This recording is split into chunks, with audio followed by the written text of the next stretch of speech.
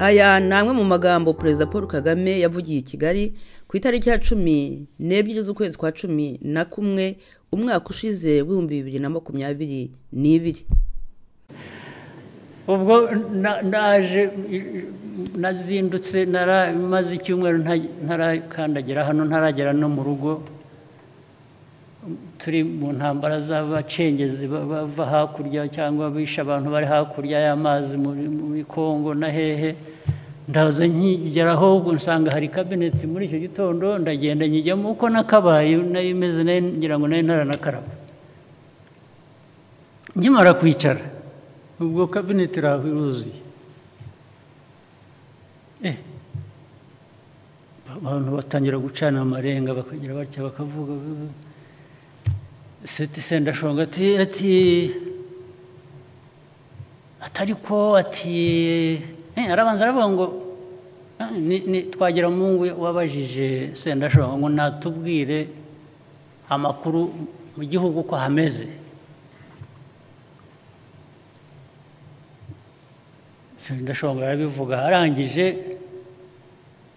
avuga noneho aho mvuye ngira ngo ni ho hari n'iwaba hari ntabaga za kibuye aratangira ati ati ati ngabo ati ngabo za kagame ingabo za rpf zamaze abantu.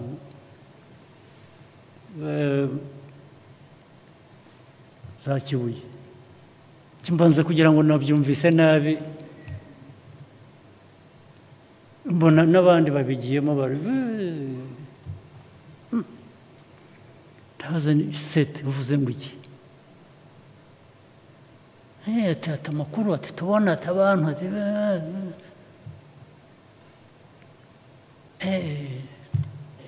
ndavuga ndavuga seti sendashonga ubu reba ntabwo naraye ndyamye nagendaga ijoro ryose ndirirwa nshakira igihugu umutekano ubu wampinduye umwicanyi nijya mwicanyi mwabuze abicanyi bugiye wampinduye umwicanyi murabyibuka yamuremye wari urimo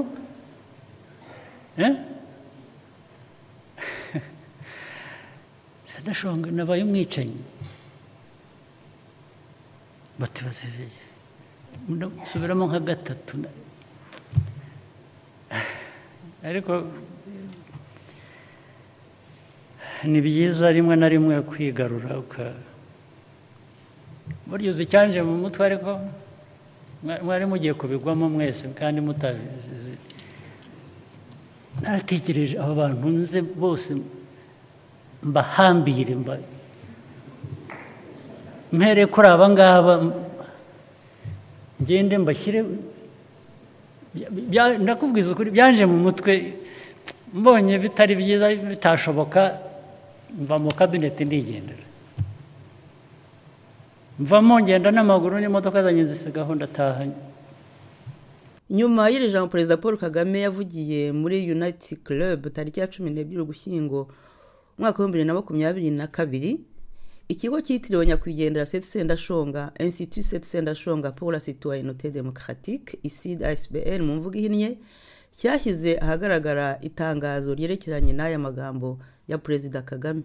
Hari ku itariki ya makumyabiri na gatanu z'ukwezi kwa munani ariko kanama mu mezi y'ikinyarwanda mu mwaka w'igihumbi kimwe magana cyenda mirongo icyenda na gatanu. Generali kagame icyo gihe yari visi perezida wa repubulika na minisitiri w'ingabo. Ni amateka mu miyoborere y'igihugu cy'u rwanda. Ni mu kanya muri iki kiganiro mwateguriwe kandi mugiye kugezwaho n'ikondera ribo mu majwi ya agnesi mukarugomwa nanjye vestina umugwaneza.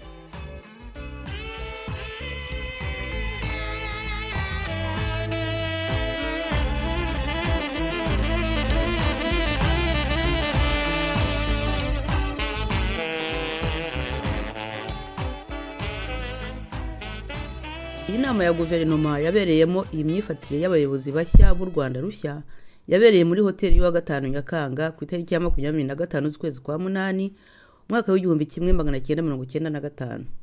Muri iyo nama wari minisitiri w'ubutegetsi bw'igihugu seti sendashonga ngo yari amaze gusobanura mu buryo burambuye ukuntu hirya no hino mu gihugu abaturage benshi bicwaga. Abandi bakanyerezwa n'ingabo za fpr ari na zo zari ingabo za leta nshya. Ibyo byaba bitarashimishije generali paul kagame wari ukuriye izo ngabo z'igihugu cya fpr inkotanyi. Seti sendashonga icyo gihe yari minisitiri w'ubutegetsi bw'igihugu n'amajyambere ya komine ni muri filime chronique d'un génocide annoncé igice cya gatatu. Nous sommes sentis trahis yakozwe mu mwaka w'igihumbi kimwe magana cyenda mirongo icyenda na gatandatu. Tubisanga ku munota wa cumi na kane n'amasegonda mirongo ine kugeza ku munota wa cumi na karindwi n'amasegonda mirongo itanu. Uru ni urutonde rw'abishwe n'abasirikare wa fpr inkotanyi ikimara gufata ubutegetsi. Aba bakaba ari abishwe muri perefegitura ya gitarama gusa. Aya malisiti yakusanijwe n'abaturage kuko kuri bo bwari uburyo bwo gutabaza gutera akamu uru rutonde rw'abishwe barushyikirije bwana twagiramungu mu kwezi kwa gatandatu umwaka w'igihumbi kimwe magana cyenda mirongo cyenda na gatanu. Gitarama ni akarere kazwiho kurwanira ubusugire bw'igihugu. Ni naho revolisiyo y'abaturage yo mu mwaka w'igihumbi kimwe magana cyenda mirongo itanu n'icyenda yatangiriye. Ni abaturage bajijutse cyane. Abaturage b'igitarama nibo ba mbere batinyutse gukora urutonde nk'uru rw'abishwe. amalisiti bashyikiriza minisitiri w'intebe kugira ngo bamwereke amarorerwa abasirikare ba fpr inkotanyi barimo gukora mu gihugu. aha murabona ni komini ya nyamabuye murebe iyi ni segiteri ya mbuye. Aha hari amazina y'abantu bishwe hamwe n'amazina ya basi na serire bakomokamo. N'umunsi abo bantu biciweho mu kwa karindwi mu kwa munani. murabona abantu bishwe mu kwezi kwa cyenda. ni gutyo urwo rutonde rwakozwe. Bityo murabona ko muri komini nyamabuye ubwayo yonyine hari hamaze kwicwa abaturage igihumbi magana arindwi na makumyabiri na batatu. nateranije amalisiti ya gitarama gusa. Nsanga hari hamaze kwicwa abantu ibihumbi cumi n'umunani muri gitarama yo yonyine gusa.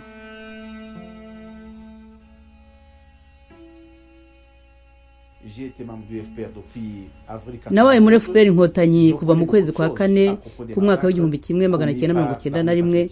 Nzi byinshi ku bwicanyi bwose bwakozwe n'abasirikare ba fpr inkotanyi. Fpr yashakaga gutegeka byose yonyine. Kugira ngo ibigereho yagombaga kwica buri muntu wese. wagaragaza ubushobozi bwo kuba yaba nawe umutegetsi. Twabonye byinshi. reka mvuge ukuntu abasirikare bajyaga guhiga abari bakiri bato. nko guhera ku myaka cumi n'itanu kugeza ku bagabo b'imyaka mirongo itanu n'itanu bakabatwara ntibongere kugaruka mu rugo. imiryango yabo ikirirwa ibashakisha mu buroko bwose bw'igihugu. ariko ntibigere baboneka. Ni ukuvuga ko abo bantu babaga bishwe n'abasirikare fpr inkotanyi. urebye uko byagendaga ni uko bibasiraga abasore bakiri bato n'abagabo bafite ingufu zo gukora. ariko cyane cyane abarimu abagoronome buri munyabwenge n'undi wese wari ujijutse ku murenge abo barashakishwaga ku buryo budasanzwe. les moniteurs agricoles, et tout le monde qui pouvait jouer un rôle quelconque au titre d'intellectuel ou bien de leader local était visé de manière tout à fait particulière. Ingabo za fpr inkotanyi zimaze gufata ubutegetsi zigenzura igihugu cyose nko mu kwezi kwa cyenda mu mwaka w'igihumbi kimwe magana cyenda mirongo icyenda na kane. Ingabo za fpr zarishe zica abaturage pe. Benshi rwose.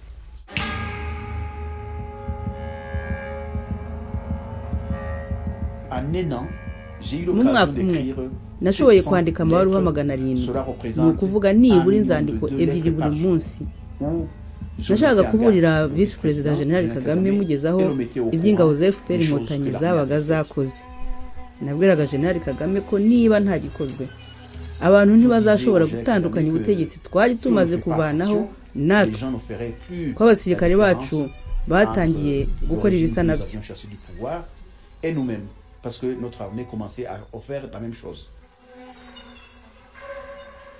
Le général Kagame y a réagi en disant que De l'un, ils ne sont considérés pas comme liés. generali de kagame mu gusubiza yaragize ati icya mbere ngo nta mpamvu abona ari ngombwa ko yasubiza izo nzandiko. icya kabiri yavuze ko namufashe nk'umuntu udashoboye gukora akazi ke muri minisiteri ashinzwe. icya gatatu ngo yagiraga inama perezida wa repubulika kuba yamunsimbuza akangira minisitiri w'ingabo z'igihugu. Murumva nyine ko byari général ukunyisekera n'agasuzuguro kenshi. Briefcase, il est sorti. Nyuma y'ibi byose generali kagame yahisemo gusohoka mu nama twarimo aragenda. perezida wa repubulika n'abagize guverinoma euh, twese tureba. tugerageje kumuhamagara ngo agaruke dukomeze inama. le 5 août. aranga. hari ku itariki ya makumyabiri na gatanu z'ukwezi kwa munani umwaka w'igihumbi kimwe magana cyenda mirongo icyenda na gatanu. bukeye bwaho icyo twabonye ni uko habayeho ivugururwa cyangwa se yirukanwa umuntu ces ashaka ikigaragara ni uko porte generali kagame aho gushaka kuganira kuri ibyo bibazo yahisemo gukoresha uburyo bukaze kandi bukanganye mu mwanya w'ibiganiro.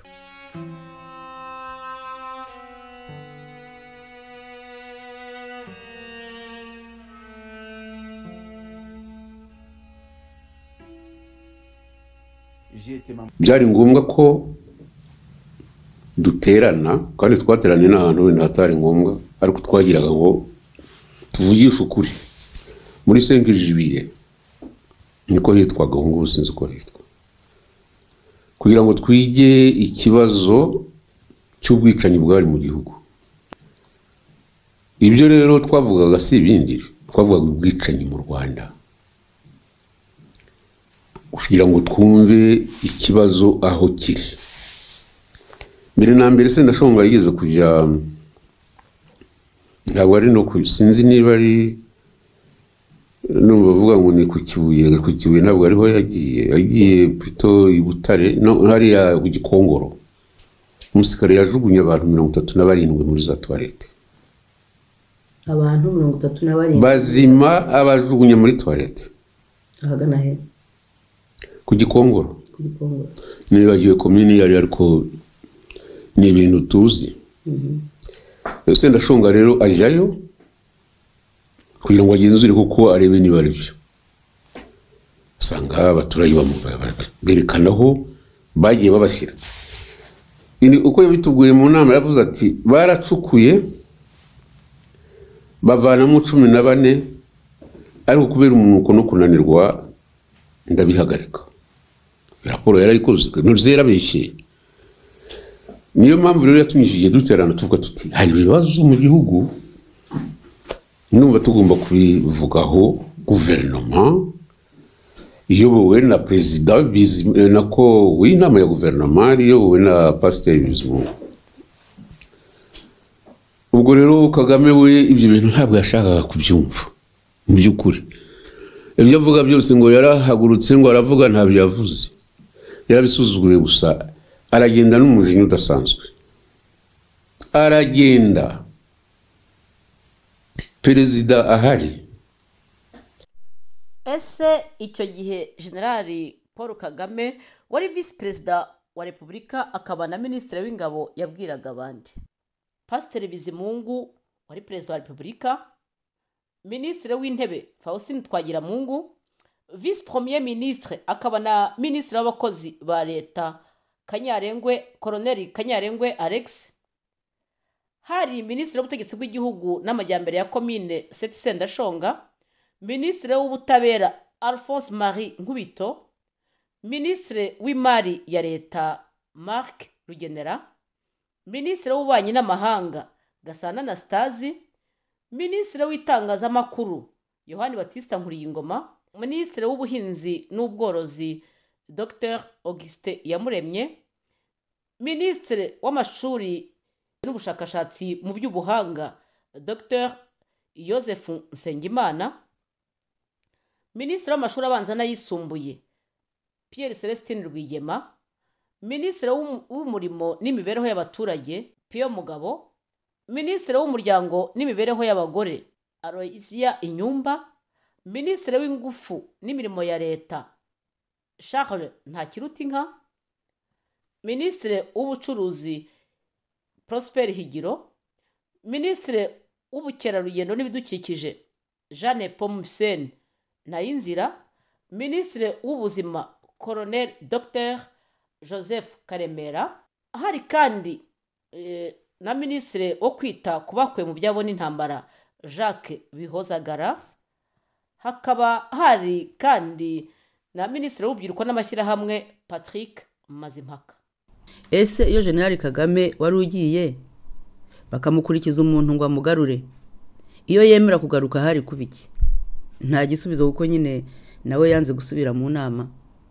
Seti sendashonga ati bukeye bwaho habayeho ivugururwa ry'abagize inteko ya minisitiri. Generali kagame yahisemo gukoresha igitugu mu mwanya w'ibiganiro. Thank you.